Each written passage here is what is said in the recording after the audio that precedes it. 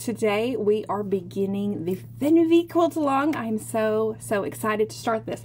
If you have missed all the messages and videos and things like that, uh, this is Fernweh quilt and it is a beginner friendly quilt pattern and we're breaking it up into five weeks and making this quilt together. So if you get signed up, all the links are below. If you get signed up, um, you will receive an email each week with uh, everything you need to do. Tasks, tips, videos, demos, etc. All of that. You can find the pattern at meanderandmake.com and again, it's below.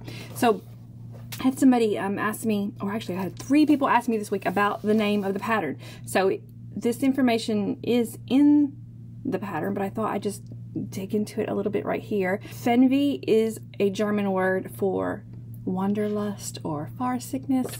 Um, and when I named it that, or when I wrote this pattern, I was designing my Someplace Grand Fabrics, which is the cover quilt.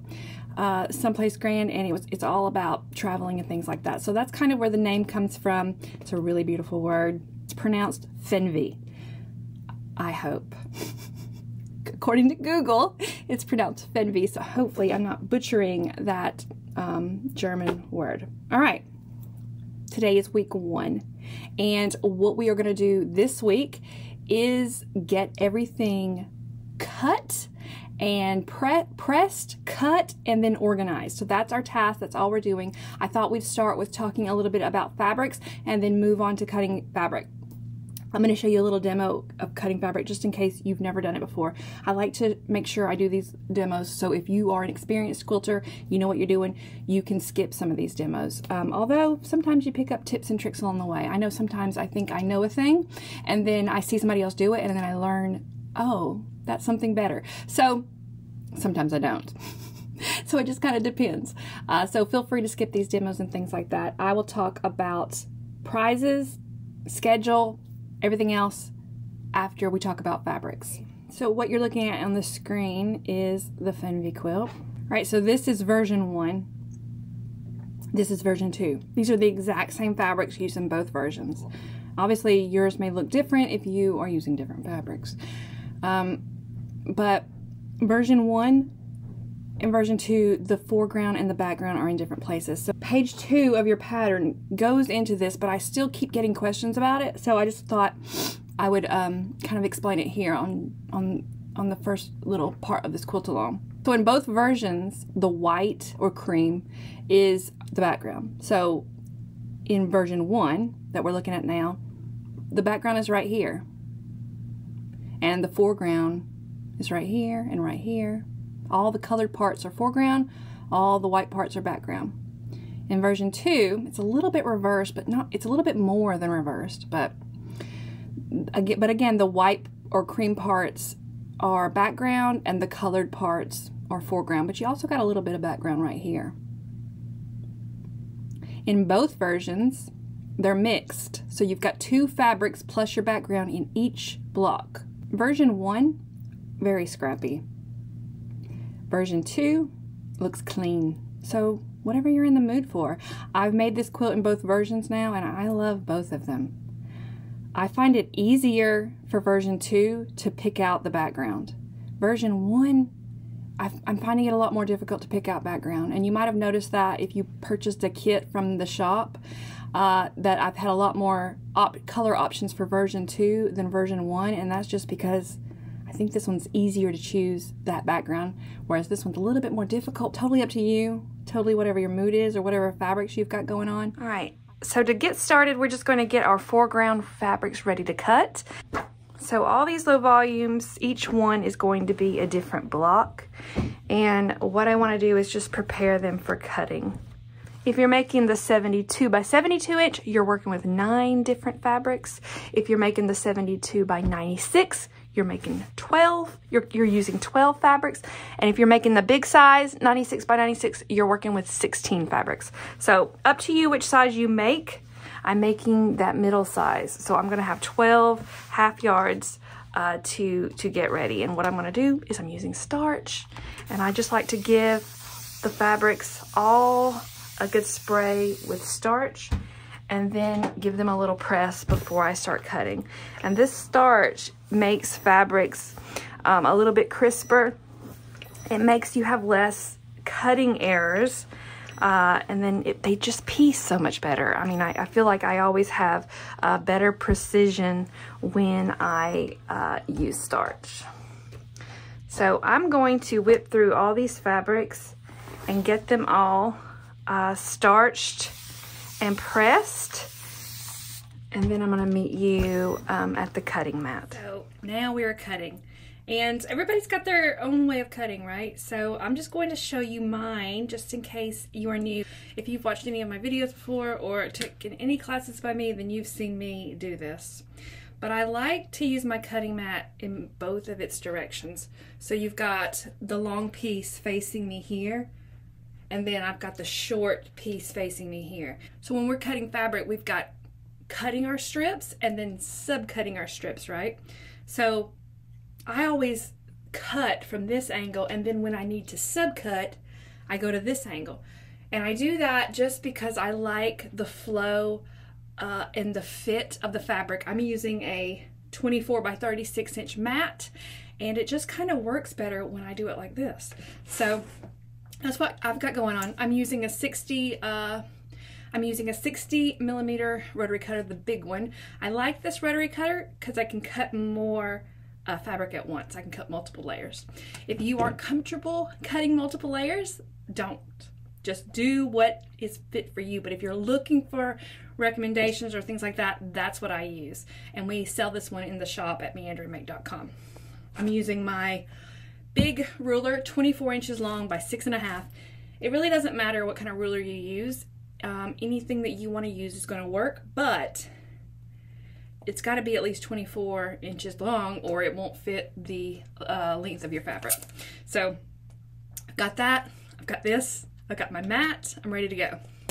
Uh, so I usually cut about three to four layers and I'm going to show you this demo again when uh, I've got the camera pointed down so you can see what I'm actually doing but I also want to show it to you this way so you can kind of see it from both angles. So everybody cuts, well, I know two ways of cutting fabric. One way is to use your ruler for measuring, and the second way is to use your mat for measuring. You're either hardcore one way or the other. I've never seen people be able to flip flop both ways. I use my mat for that. The only thing I'm using my ruler for is to hold on to my rotary cutter, right? To use it as my uh, baseline. Um, I'm using the measurements on my mat to actually decide how big I cut my fabric. I know that a lot of people say sometimes the mat isn't accurate, but that's usually only true for old mats from back in the day. These new mats that everybody uses, they have accurate measurements. All right, so I'm getting all my fabrics set up. I like to cut with the selvage right here in front of me. And um, I'm placing you know all of my fabrics across the line that I actually want to cut on. So that's what that is going to look like just to get myself a straight edge and then I can um, have a you know perfect cuts from that point forward so mat so ruler rotary cutter and then I'm going to place the ruler on the mat or on top of the fabric. And, th and again, I'm using my mat as my source of measurement. So if you're doing this a different way, that's okay. So if you're doing this the, the other way, that's okay too. You know, cut how you want to cut, but this is for people who are looking for some guidance in their cutting. You're cutting obviously on the edge of your ruler, but when your eyeballs are going to actually look one inch away from the edge. So looking at that one inch line, I'm going to put that one inch away from the line on my mat. So we're looking both places. We're lining up the one inch with the one inch, right? So I'm gonna take my hand, put some weight, cut, and then I lift my hand and do it again, just like that. And we're just cutting off those little edges like that, and we're getting ourselves a nice clean edge. I'm gonna show you this one more time uh, from a different view. Okay, so again, I'm gonna stack up my fabrics. I like to cut three or four at a time, but here's what this looks like from this angle. I've got my selvage down here uh, right beside myself. And then I'm over, I'm gonna cut on this line right here. And if you look pretty closely, you can see that it's my 20 inch line on the mat. And I wanna make my cut on the 20 inch. So I wanna make sure that I have uh, this edge across it so that when I go and cut myself my clean edge, uh, you know, it's it's all the way across it and it's overlapping that line so that I get that nice clean cut. So that's what I'm doing now. And then I'm gonna have, I'm gonna stack up four layers of fabric here. And again, if you feel comfortable cutting two, cut two. If you feel comfortable cutting three, whatever makes you feel the best. Sometimes if my blade isn't as sharp, I'll cut three, but most of the time, most of the time I'm cutting four. All right, so I've got all my selvages, you know, right down here. I'm gonna put my ruler here. And all right, this is what, this is kind of what, this is what I really wanted uh, to show you, right? You're looking at the ruler in two different places. You're looking at it down here and you're looking at it up here. I'm not sure if you can see that in the video. And you want to make sure that it's overlapping the bottom of the fabric here and the top of the fabric right there, see? And we're gonna be cutting right here on this 20 inch line with our rotary cutter bumped up against our ruler. But when I look at this, when I wanna make sure that I've got that ruler in the right place to get my good cuts, I'm looking at this one inch line and I'm gonna make sure that this one inch line on my ruler is on top of one inch from where I wanna cut on my mat. So in my case, I'm cutting on the 20. That means I wanna line my one inch ruler line up with my 19 uh, mat line. And I wanna make sure those are flush down here and all the way back here at the top. When I have it flush, I put some weight on my ruler with my hand, get my other hand with my cutter, and I usually cut till about halfway and then I shift my weight, you know, down here and cut again. And that that is the best way I know how to cut fabric. And um, I spend a lot of time getting all these little rituals, if you want to call them that, uh, learned so that I can have better piecing, more precision in my quilts. The more precise you are, the less frustrations you'll have as we move along through this quilt. If this is your first quilt pattern you've ever made, uh, or you or you found yourself frustrated getting your cutting accurate is, is one of the biggest things that you can do to make yourself have less frustration. All right, when I'm ready to cut my first my first strip, and what, what a strip is, just in case you don't know, is it's just one of these long rectangles of fabric that is double, double folded in the case of this quilt. We'll make our first quilt, we'll make our first cut, and what I wanna do, my first cut is three and a half inches on, for what I'm making. And I want to take my line 20 here where the edge of my fabric is and just count three and a half inches. One, two, three and a half. And then I line up the lines on my ruler with the lines of my mat. Put my weight down, shift to the other side, boom, we're cut. And that is, you know, that's a strip. Okay, so I've got my pieces, you know, cut, my strips cut. And instead of going and automatically moving to subcutting and starting that, I like to just wait until I get all the strips cut and then subcut. Definitely do what you feel most comfortable with and what keeps you the least amount of confused. Um, but I just like to do it this way. So that's what I'm doing. I'm gonna stack all like size strips together and then just kind of move them out of the way. And then I'm gonna get to my next uh, fabrics. All right, so I'm gonna go ahead and get everything cut out of all of these half yards for the rest of the quilt, and then we will start subcutting together. And I've shifted over here uh, to this side of the mat just because it just works out better with the length of fabric. That's the only real reason I have for doing it this way. You've got different strips getting cut up into different amounts. So right now we're working with one size and you might be making a different version than me. So there's version one and version two and they have different things going on with their with, the, with their sizing. I mean, they're basically two patterns in one. So I'm not going to tell you, you know, the numbers right now, but you can see that what I'm doing is I'm getting the selvage on the other side of the line like that. So I have my selvage, I'm gonna cut right here, right? And I have my selvage on the opposite side. So that's what you wanna do. And you kinda wanna make sure, I'm stacking three to four deep, and you wanna make sure, you know, that all your selvages are on that opposite side. Some selvages are thicker than others, so I like to pay special attention to it because, um, you know, that's one of the reasons why I don't just grab up a whole stack of these and place them down because they all have different, you know, selvages. So just kind of do the best you can, but you will be irked, or at least I'm always irked, if some of my selvage gets into my piece. Like if I cut a square and then, you know, an inch of it is selvage, oh my gosh, talk about being mad. so I want to make sure I don't do that. So that's what the caution is about. And then I actually have a smaller ruler that I use for subcutting. Let me get it out.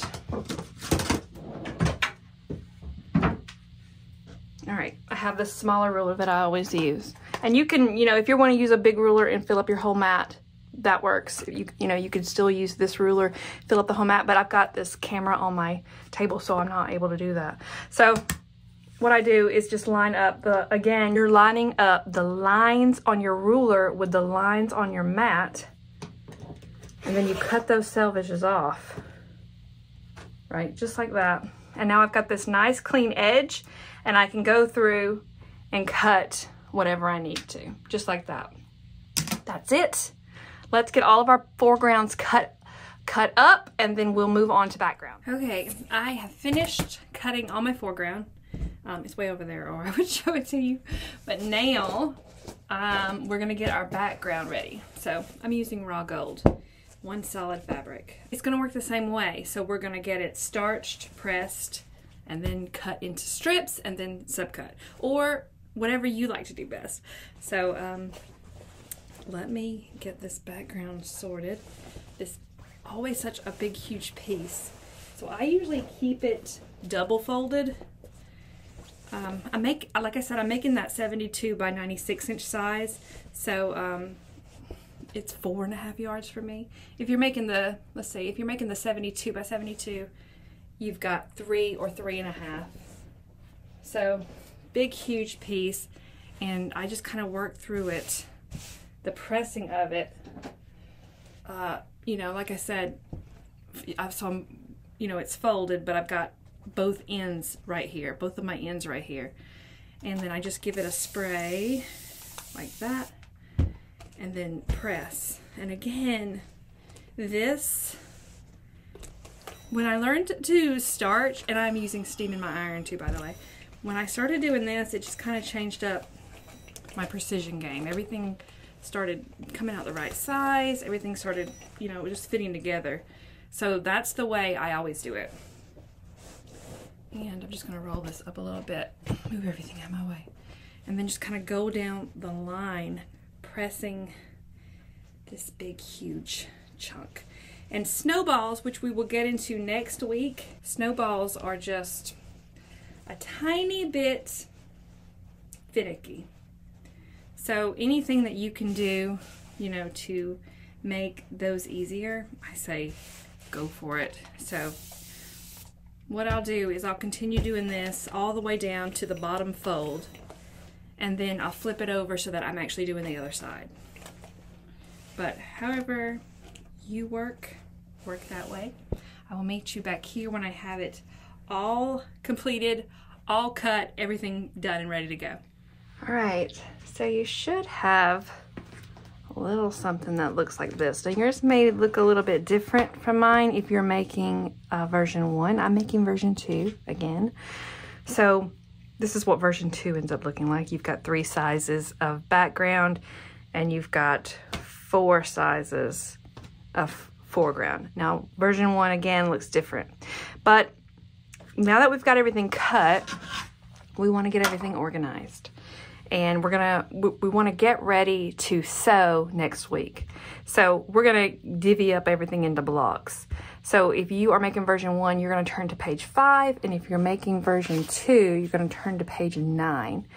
And what you're looking at up there at the very top of those pages, it says each has and how many blocks, and then it says pieces needed per block.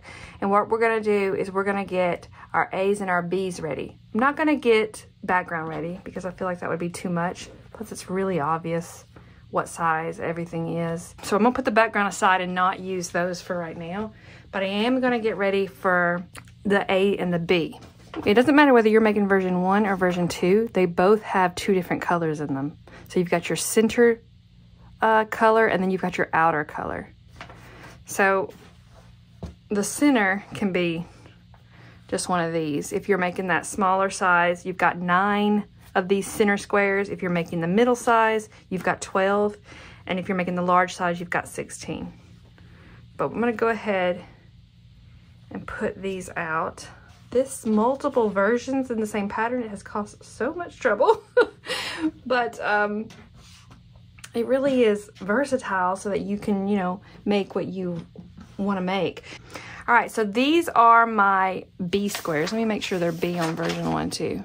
Yeah, so these are B squares and they account for each square is a block within this quilt, all right? So now that we've got B laid out, let's lay out our A pieces. So go ahead according to, you know, what your what your what version you're working on. Um, you're going to lay out your your all the pieces for your A. So let me do that really quick. All right. So that's kind of what this looks like. We're just mixing two colors per block. Um, and they, there's no hard rules for which colors to mix. Um, just do what feels right to you. And I'm, I am trying to make sure that I've got contrast on it. All of mine are low volume, but I'm trying to pair like a calm low volume with a busier one or, you know, look at scale. So large and small. Um, this is, this one's pretty good contrast there. And then just, you know, just do the best you can.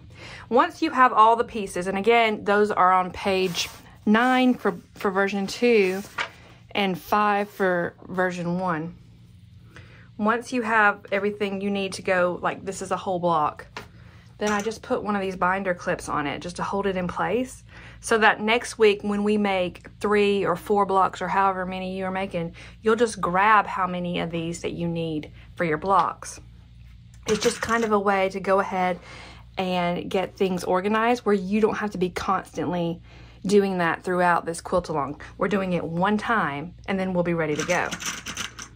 So I'm gonna sit here and get these done. Okay, so that is that. If you need clips, if you don't have clips like this, you can find them in the shop. If you don't want to buy something special just to clip things together like I'm doing, uh, I, I've used clothespins in the past and they work great. So clothespins, whatever you got, um, even if it's just stacking them on surfaces, uh, either way, I'm only having to organize this one time and then I'm ready for the whole quilt along. All right, again, I didn't organize the background fabrics because I just didn't feel like I needed to. Um, when we make our blocks, I will grab, you know, I think our first uh, next week, uh, which would be the second post in this quilt along, I'll just be grabbing four of these to make my blocks and leaving the rest behind. And then I'll grab what I need in background. All right, I get really, really overwhelmed with things sitting around. I got me these boxes, and if you've quilted along with me before, you've seen them before, but they're just plastic boxes that I can stack up in the closet. And I'm just gonna go ahead and put everything I need uh, in here, including, including my pattern. And then next week, when I'm ready to, uh, we'll go with week two, I'll just grab what I need from this box and um, and then move on. And that way this is out of sight, out of mind, and it goes stacked up in a closet on top of other boxes just like it with other WIPs. okay, so that's it for organization. Right, that was a lot of cutting. That was a lot of cutting and a lot of pieces. So if you need to break that up into multiple days, remember that you have an entire week to cut your fabric and organize it. So break it up however you need to. A little bit each day is perfectly fine. Um, all the links to all the supplies that I used in this video is down below. So if you need, if you have a question about something I used, you can probably find a link to it below or send me an email, that's fine too. I'm happy to answer any questions, comments, or anything you have. So put those in the comment section wherever you're seeing this video. All right, next Thursday, one day before the next week's post comes out, uh, I'll be giving away two $50 gift certificates over at Meander and Make. To be eligible for these gift certificates, you need to post your progress of cutting and organizing on Instagram using the hashtag FernwehQAL and be following all of our sponsors. There's only five, so uh, uh, and their information is all in the email I sent you this morning. The winner of those giveaways will be announced on Instagram in a post on Thursday. Um, if you are not subscribed to be a participant of this quilt along yet, get subscribed and you'll get this information delivered right into your inbox. All right, so I think that's all that I have for you this week. Um, like I mentioned before, if you have any comments or questions, just leave them in the comment section below and I will answer them in next week's video. Um, I cannot wait to start block making. You can't get here soon enough. I will see you next Friday.